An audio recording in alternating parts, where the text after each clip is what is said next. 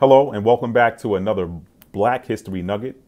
I am author Matt D. Talford, author of three fantastic books.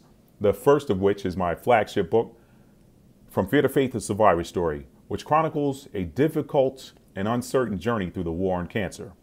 The second book is uh, a book for that, it's a niche book for the tennis community. If you're in adult tennis leagues, uh, competition tennis, Captain's Mate is a must have. It's the only book on the market like it.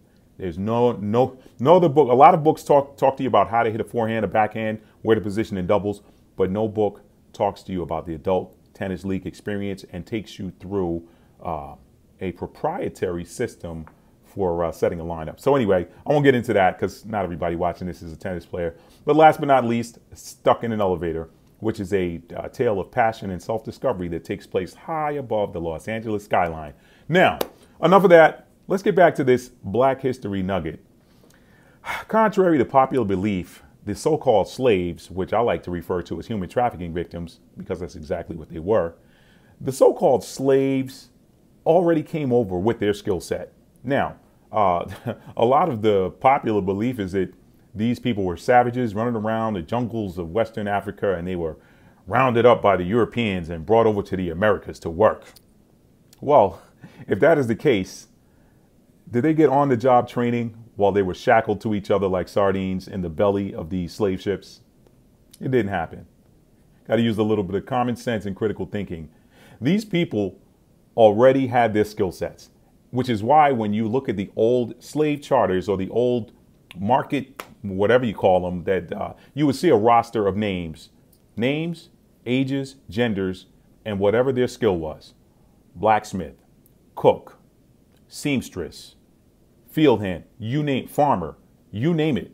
Okay, these folks came over with a skill already, which tells us that these uh, European human traffickers kind of already knew who they were looking for.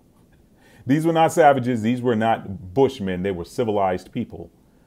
And if you do a little bit further digging, you might learn a little bit more about them, but we'll we'll save that. We'll save that for another episode. Uh, this is just a really quick Black History Nugget. And if you're wondering why I do the double quotes when I say black, well, it's because these people didn't refer to themselves as black. Black is a descriptor that was given to them by the uh, by their captors, and even before their captors. It actually goes back hundreds of years earlier. But I got to save that for another time because I didn't want this video to go that long. So anyway, we're coming up on three minutes, folks.